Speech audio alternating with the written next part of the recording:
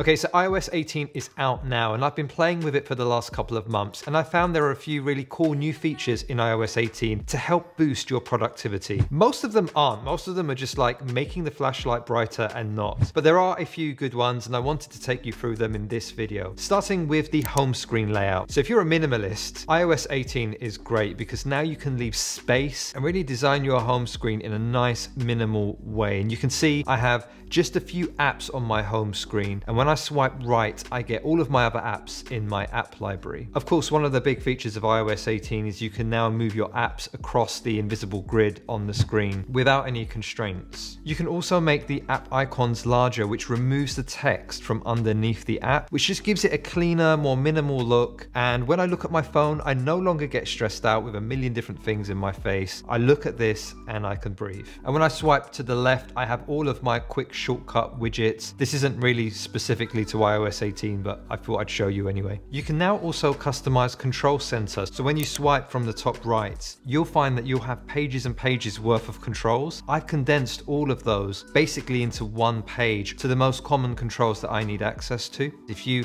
hold your finger down in an empty space, you can really easily resize some of these icons and, and move them around and basically just make the control center look neat because when you first upgrade to iOS 18, you'll just have pages and pages of stuff that you probably don't need. You can also now change the lock screen shortcuts. It's forever been camera and torch, but now if you hold down your finger on the lock screen and hit customize, you can then go into your lock screen and you can see that you now have the option to remove the icon icons that are there and replace them with new actions. And there are a whole bunch of new actions. I've mapped one of mine to my house alarm so that I can quickly access turning on and off my house alarm when I'm in and out of the house. So that's definitely made my life easier, just that one shortcut, removing all friction from having to do something as laborious as turning on and off your alarm. Speaking of shortcuts, there is a new feature called vocal shortcuts, which is a little bit hit and miss. I've tried using it over the last couple of weeks and it has been useful for very specific scenarios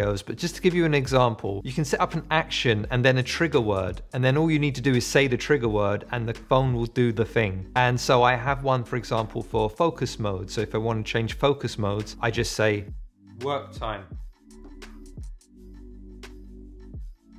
And it will do it. If I want to take a screenshot, I'll just say take screenshots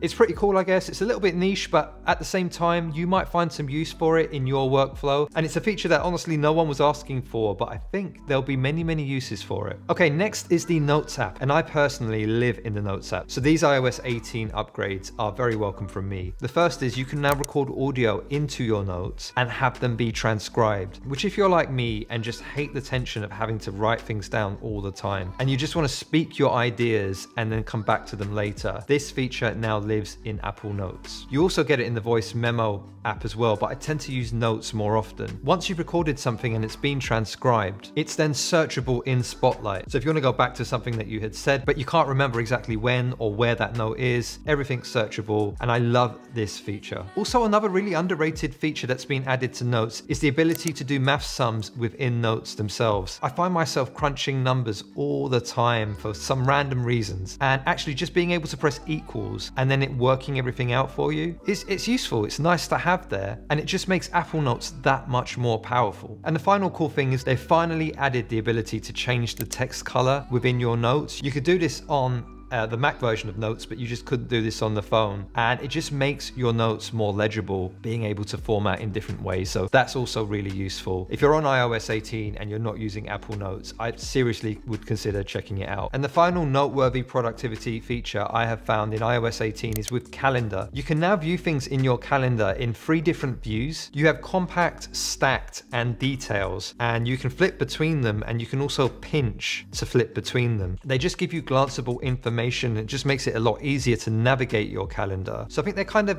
catching up to Fantastical a little bit with their kind of UI improvements. And I have switched to the calendar app just because it, it feels nicer to use now than it did in iOS 17. You can now also integrate directly with reminders in your calendar app. So you can create reminders and manage them from within calendar. So now if you create a reminder anywhere on your phone. It will appear in your calendar based on when you've scheduled to do that reminder. The only thing really missing from this feature is that you can't change the duration of the reminders. All of the reminders have the same sort of time span. I'd love to see in a future update the ability to change the duration of the reminders, and then you'd really be able to plan out your day between meetings and tasks. But anyway, that's a really cool feature. And there are so many more features that are not going to be released in the initial release of iOS 18. All of the AI stuff like summarizing your text and generating new text. The new Apple Visual Intelligence feature is apparently going to come later this year. There's a new focus mode that learns the kind of notifications you have and prioritizes the important ones. And an all new intelligent Siri, which I'm really looking forward to testing once all of these features are released. But for now, those are for me the best productivity features in iOS 18. Do check them out. And if you found value in this video, please hit the like button. And if you want me to be your personal productivity coach, you know what to do. Until the next one,